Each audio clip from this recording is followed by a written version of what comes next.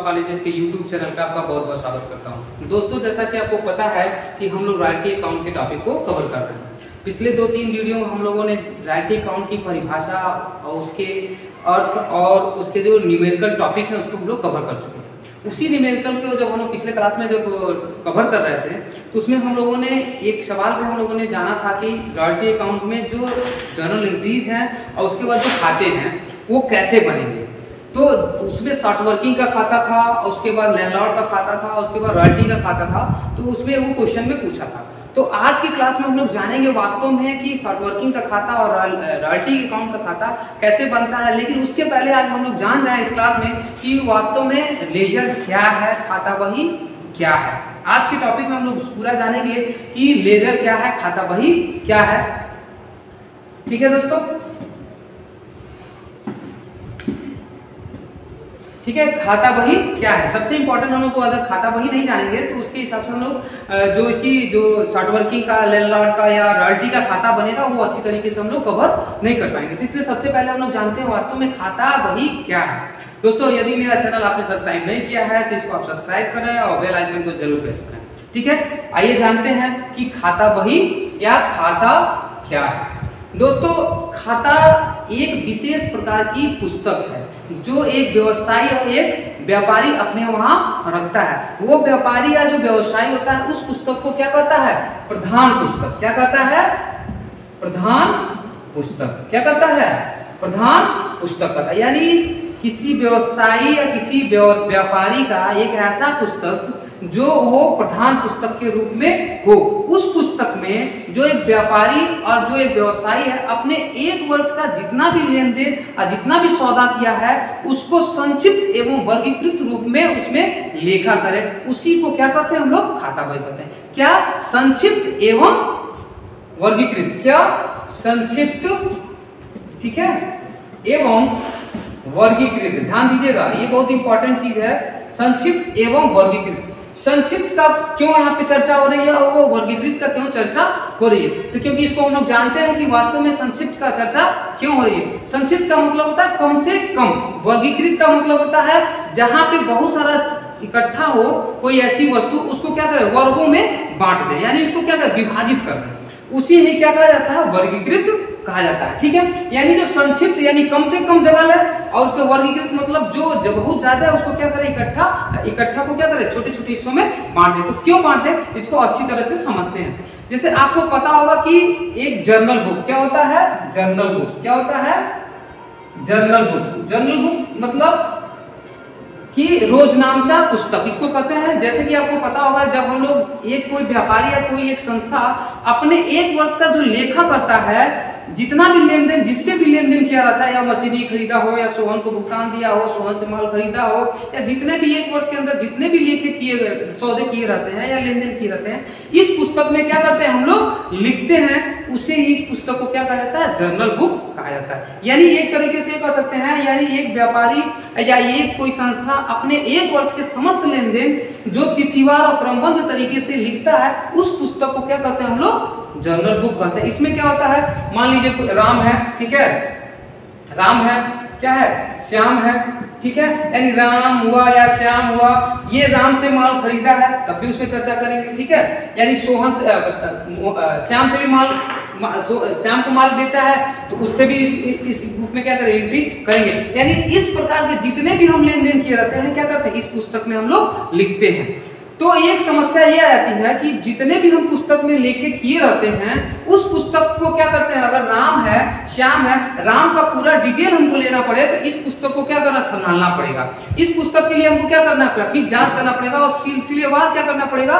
राम का जितना भी एंट्री हम लोग किए हैं, जैसे राम से माल खरीदा है या राम को भुगतान दिया है तो हमको क्या करना पड़ेगा? इस तरह की समस्याएँ आएँगी कि अब राम के क्या करेंगे? पूरा हम डिटेल हम खोजेंगे। तो उससे क्या होगा? इस जर्नल बुक से बहुत सारी दिक्कतें पैदा होंगी। और इस दिक्कतों को दूर करने के लिए, इन्हीं दिक्कतों को दूर करने के लिए एक व्यापारी या कोई एक संस्था एक ऐसे पुस्तक का निर्माण करता है, जिसमें वो जितने भी राम संबंधी लेखे किए हैं या श्याम संबंधी लेखे किए हैं, उनको एक संक्षिप्त एवं वर्गीकृत रूप से उस पुस्तक में लेखा कर दिया जाए। उसी पुस्तक को क्या कहते हैं हम लोग? खाता बही कहते हैं। ठीक है? यानी एक प्रकार का ऐसा पुस्तक जो व्यवसायी और व्यापारी का प्रधान पुस्तक हो, उस पुस्तक में अपने समस्त लेन देनों को संक्षिप्त एवं वर्गीकृत रूप से लेखा किया जाता हो, उसी पुस्तक को क्या कर सकते हैं हम लोग? खाता वही कह सकते हैं।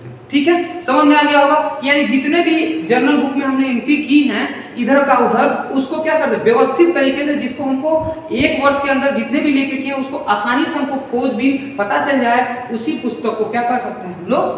प्रधान पुस्तक कर सकते हैं, ठीक है? इसको आइए पढ़ के समझते हैं कि वास्तव में खाता बही क्या है, ठीक है? जानते हैं? देखिए, खाता बही व्यवसाय और व्यापारी की प्रधान बही है। मतलब यानी प्रिंसिपल बुक अभी बताया ना कि ये क्या है? प्रधान भाई है किसी व्यापारी या किसी व्यवसाय का। क्यों? क्योंकि इसमें संक्षिप्त एवं वर्गीकृत रूप से लेके किए जाते हैं, ठीक है? जिसमें व्यापार में होने वाले लेन देन लेन देनों का संक्षिप्त एवं वर्गीकृत लेखा क्या है। संक्षिप्त मैंने बता दिया ना कि यानी एक वर्ष के अंतर्गत जितने भी लेखे राम संबंधी किए हुए हैं, उसको खंगालने में हमको क्या बहुत टाइम लग जाएगा। लेकिन अगर हम इस राम संबंधी जितने भी लेखे, केवल राम संबंधी जो लेखे किए हैं, उसको हम इस प्रधान पुस्तक में अगर संक्षिप्त रूप में लेके कर दिए तो हमको आसानी से क्या होगा?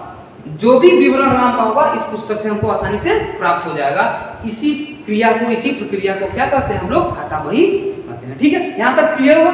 कर इसमें प्रत्येक पक्ष से संबंधित एक निश्चित समय में लेन देन एक ही स्थान पर लिखे जाते हैं, जिससे उस पक्ष का खाता रहता है। यानी एक निश्चित टाइम पे, जैसे राम का हुआ, श्याम का हुआ, ठीक है? एक निश्चित, यानी वो जितना भी तिथिवार समय से काम किया होगा, उसको निश्चित समय से जितना भी लेन देन किया गया है, उसको एक ही स्थान पे लिखे जाते हैं, जिसे उस पक्ष का खाता कहते हैं। यानी राम से जितना भी लेखा किया गया है, राम संबंधी जितना भी लेखा किया गया है, इस पुस्तक में लिख देते हैं। इसी को क्या कहते हैं हम लोग? खाता कहते हैं। ठीक है? यहाँ तक इसका आगे बढ़ रहा है। ऐसा करने का उद्देश्य एक ही।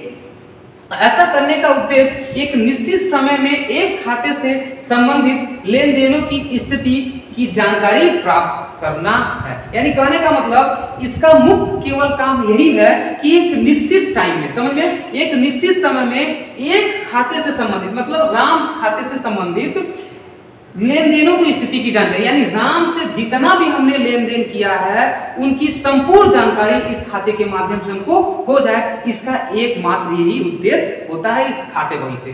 ठीक है? आगे चलते हैं। आगे कह रहा है, खाता बही में समस्त व्यक्तिगत, ध्यान दीजिएगा यहाँ पे। व्यक्तिगत, ठीक है? वास्तविक एवं अवास्तविक।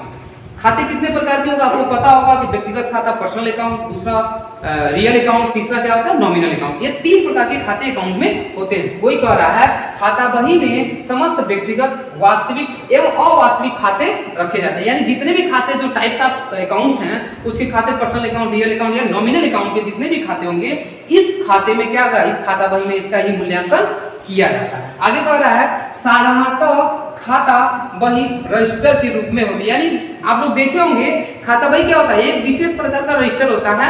उसी रजिस्टर को ही क्या कहा जाता है? खाता बही का, जिसमें एक जो विशेष प्रकार के जो लोग होते हैं, उन व्यक्तियों का क्या उसमें लेखा किया जाता है। उसे ही क्या कह सकते हैं हम लोग? खाता बही कह सकते हैं। इसके प्रत्येक पृष्ठ पर, यानी प्रत्येक पृष्ठ पर पृष्ठ संख्या अंकित होती है। यानी प्रत्येक पृष्ठ पर राम का है तो राम का पृष्ठ संख्या छपा रहेगा। श्याम का होगा तो श्याम का पृष्ठ संख्या छपा रहेगा।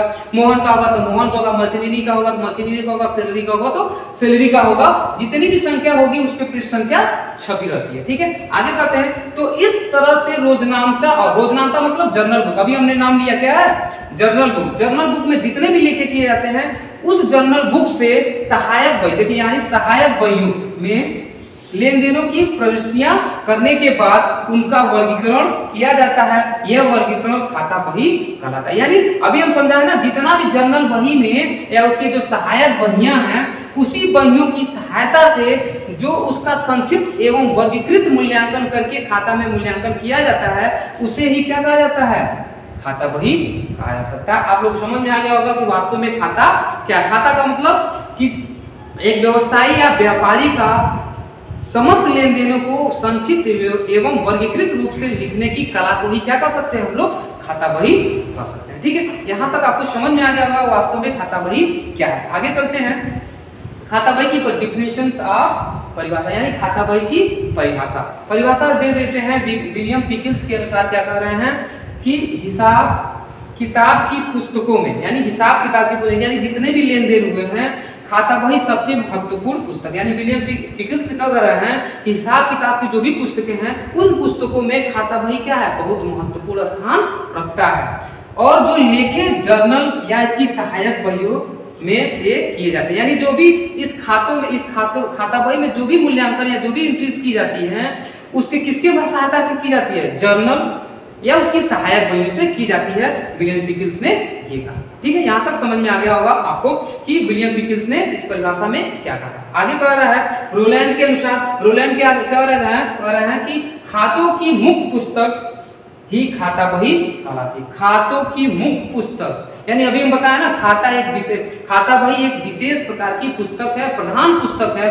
रोलैंड साहब यही कह रहे हैं कि खाता बही क्या है? एक विशेष प्रकार की पुस्तक ठीक है? समझ में आ गया? यहाँ तक आपको यानी परिभाषा से समझ में आ गया होगा कि खाता बही एक विशेष प्रकार की पुस्तक है जिसमें उसमें लेखा जो किया जाता है वो जर्नल या उसकी सहायक बहियों से की जाती है। उसे ही क्या कहा जा सकता है? जर्नल सॉरी लेजर कहा जा सकता है। ठीक है? यहाँ तक समझ में आ गया? यहाँ तक क्लियर है? यानी अब चलते हैं सबसे इंपॉर्टेंट खाता बही के नियम। क्या है? खाता बही के नियम, सबसे इंपॉर्टेंट यही नियम हम लोग को जानना है कि जब एंट्री करेंगे तो इसकी इंपॉर्टेंस आ जाएगी। क्योंकि इसी के आधार पर क्या खाता बही में एंट्री की जाती है। आगे चलते कह रहा है जर्नल में जितने खातों का नाम होता है मतलब जर्नल में जितने खातों का, जैसे जैसे राम का खाता हो गया, श्याम का खाता हो गया, ठीक है, मशीनरी हो गई, ठीक है, यानी जितने भी खाते होते हैं, उन सभी का क्या होगा? उन सभी का खाता खोला जाए। यानी जितने भी एक व्यापारी, जितने भी लोगों से लेन देन किया गया किया गया होता है, या किया गया होता है, उसमें क्या होता है? उन सभी लोगों का क्या होता है? खाता खोला जाता है नियम के अनुसार। ठीक है? जैसे राम से माल खरीदा, राम का खाता खुलेगा। श्याम से माल खरीदा, श्याम का माल खाता खुलेगा। मशीनरी खरीद के लाया है परचेज करके लाया है मशीनरी बेचा है तो मशीनरी का खाता, यानी जितने भी खाते जनरल यूनिवर्सिटी में की गई हैं, उन सभी का खाता खोला जाता है। आगे कह रहा है, खातों के नाम, खातों के नाम खाता बही के पृष्ठों के मध्य, यानी जो खाता बही के जो होता है, पृष्ठों के मध्य, बड़े और स्पष्ट अंतरों में लिखा जाता है। यानी जो खाता बहियों में जो खाता बहियों का जो नाम होता है, वो मध्य यानी क्या है मध्य यानी बीच में ही क्या कहा जाता है? अकाउंट यानी यहाँ पे लिखना है तो जो जो हम खाता खोलेंगे तो जिसका नाम लिखेंगे उसका मध्य यानी बीच में ही लिखेंगे। ठीक है? यही बात कर रहा है नियम के अनुसार। तीसरा कर रहा है, एक नाम से संबंधित सभी लेखे एक ही जगह लिखा जाए। यानी जो भी एक नाम, जैसे राम का जो भी होगा राम का जितना भी लेन देन होगा, वो एक जगह, यानी खाता बही में क्या होगा? एक जगह ही केवल लिखा जाएगा, अन्य जगह नहीं लिखा जाएगा। आपके सामने एक समस्या होगा, कहीं राम दो नाम के होंगे, तब?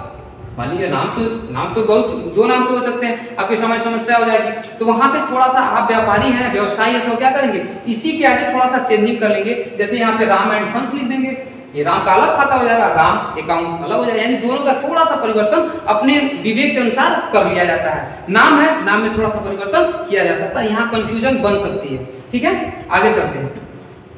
आगे कह रहा है, जगह में किए गए लेखे को खाते में सिलसिलेवार ढंग से अर्थात तिथिवार लिखा जाता है। यानी जितने भी खाते खोले जाते हैं, जितने भी लेन देन किए जाते हैं, उसको सिलसिलेवार यानी अगर एक तारीख का है, एक अप्रैल का है तो एक अप्रैल के डेट में एंट्री करेंगे। अगर दस तारीख में है तो दस तारीख में ऐसा नहीं कि पहले हम दस तारीख को कर देंगे फिर एक तारीख को करेंगे। ऐसा नहीं।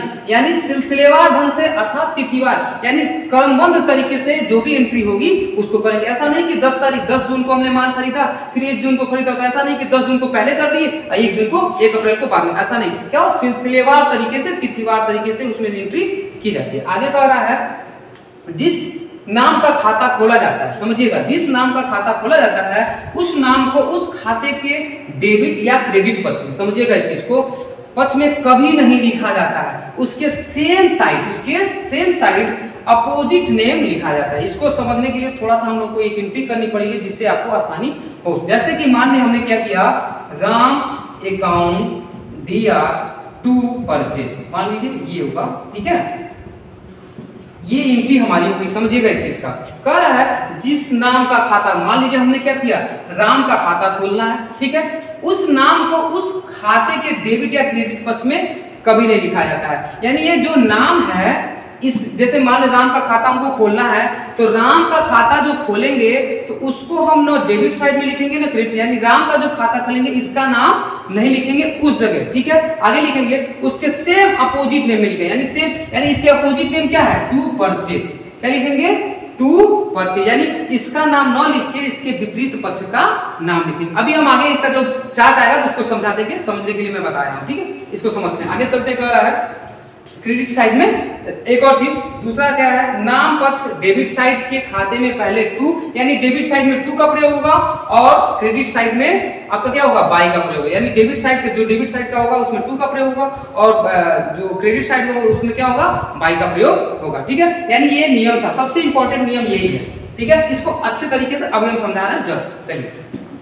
ये आपका क्या है? लेजर का फॉर्मेट है। क्या है? ये देख लीजिए लेजर का फॉर्मेट कुल फॉर्मेट में इसके कितने आठ आठ कॉलम होते हैं। पहले कॉलम में क्या होता है? डेट होता है। दूसरे कॉलम में पार्टिकुलर यानी विवरण, जो भी लेन देन होता है, वो तीसरे में क्या है? जेएफ इसको कहते हैं जेएफ मतलब जर्नल फोलियो नंबर ठीक है? आगे भी बताएँगे, जब इसकी एंट्री है कराएँगे तो इसको पूरा डिटेल में बताऊँगा कि जेएफ होता क्या है वास्तव में। ठीक है? यहाँ केवल वैसे ही लिख दिया गया। आगे कह रहा है अमाउंट डेबिट यानी जो चार कॉलम इसके होते हैं, वो डेबिट साइड के होते हैं। ठीक है? और जो चार कॉलम होते हैं, वो किसके? क्रेडिट साइड होते हैं। सेम पैटर्न पे डेट पार्टिकुलर जेब अमाउंट डेट पार्टिकुलर जेब अमाउंट इसके आठ कॉलम होते हैं फॉर्मेट इसका। अब आते हैं तीसरा नियम जो सबसे इंपॉर्टेंट है, जो अभी हम लोगों ने पढ़ा है। उसको समझ लेते हैं अच्छी तरीके से। कह रहा है, जिसका खाता खोलते हैं। समझिएगा इस चीज़ को। सबसे ये इंपॉर्टेंट है, क्योंकि बच्चे क्या होते हैं, इसी में फंस जाते हैं। राम अकाउंट दिया टू परचेज समझिएगा इस चीज़ को। ठीक है, ये हमारी एंट्री है, मान लीजिए। तीसरा नियम के अनुसार। राम अकाउंट दिया टू परचेज यानी राम क्या है? डेबिट साइड में है। समझिएगा। और जिसका खाता खोलते मान लीजिए राम का हमने क्या किया? खाता, राम अकाउंट खोला। हमने राम अकाउंट खोला। जिसका खाता खोलते हैं, उसका नाम न लिख के उसके विपरीत पक्ष का नाम लिखते हैं। अगर वो डेबिट में है तो डेबिट में, अगर वो क्रेडिट में है तो क्रेडिट में। यहाँ तक समझ में ये नियम था। यानी राम का हमने खाता खोला तो राम कहाँ है पहले? डेबिट में है तो हम डेबिट में आएँगे पहले। ठीक है? टू परचेज, यानी इसका नाम न लिख के इसके क्या करेंगे? विपरीत पक्ष का नाम। विपरीत पक्ष क्या है? To purchase. क्या है? क्या है इसका? To purchase. यानी तीसरा नियम यह कहता है, जिसका खाता खोलते हैं हम लोग, उसका नाम न लिख के उसके विपरीत पक्ष का नाम लिखते हैं। ये तीसरा नियम था। चौथा नियम क्या था? डेबिट साइड में टू का प्रयोग करते हैं और क्रेडिट साइड में बाई का प्रयोग करते हैं। यहाँ पे क्या होगा? बाई का प्रयोग होगा। ठीक है? यह समझ में आ गया? यानी तीसरा नियम सबसे इंपॉर्टेंट है, जिसका खाता खोलते हैं, उसका नाम न लिख के, उसके विपरीत पक्ष का नाम विपरीत पक्ष क्या है? टू परचेज यानी ये हो गया। उसी तरह मान लीजिए यहाँ पे हमने क्या किया? इसको डिलीट करके आपको हम समझा देते हैं कि कि परचेज का अकाउंट मान लीजिए परचेज का अकाउंट खोल लेते हैं हम। तीसरे नियम के अनुसार परचेज अकाउंट मान लीजिए हमने खोला तो परचेज अकाउंट खोला तो परचेज कहाँ है क्रेडिट साइड में है तो क्रेडिट साइड में हम लोग जाएँगे। और क्रेडिट इसका नाम लो लीजिए इसके विपरीत पक्ष का क्या नाम है? राम। ठीक है? यहाँ पे क्या हो जाएगा? राम अकाउंट ठीक है? यानी ये नियम इसमें क्या है? इसमें टू का प्रयोग डेबिट साइड में टू का प्रयोग करते हैं क्रेडिट साइड में बाई का प्रयोग करते हैं। तीनों नियम आपको समझ में पहला क्या है? इसमें टू का बाई का प्रयोग। डेबिट साइड में टू का प्रयोग करते हैं क्रेडिट साइड में बाई का प्रयोग करते हैं। दूसरा नियम क्या है? जिसका खाता खोलते हैं, उसका नाम उसके विपरीत पक्ष का नाम लिखते हैं। और जिसका भी खाता खोलते हैं, उसको मध्य भाग में हम लोग क्या करते हैं? लिखते हैं। ये चारों नियम थे जो इंपॉर्टेंट थे। कल के क्लास में हम लोग दोस्तों जानेंगे कि वास्तव में शॉर्ट वर्किंग यानी कल के क्लास में हम लोग क्या पढ़ेंगे? रॉयल्टी अकाउंट में शॉर्ट वर्किंग ठीक है? उसके बाद लैंडलॉर्ड अकाउंटिंग लैंडलॉर्ड अकाउंट ठीक है? उसके बाद रॉयल्टी ये तीनों खाते जनरलिटी के माध्यम से कैसे खुलेंगे? कल के क्लास में हम लोग मिलेंगे दोस्तों। आज के लिए इतना ही। अगर मेरे चैनल के आपने सब्सक्राइब नहीं किया है तो इसको आप सब्सक्राइब करें वेल आइकन को ज़रूर प्रेस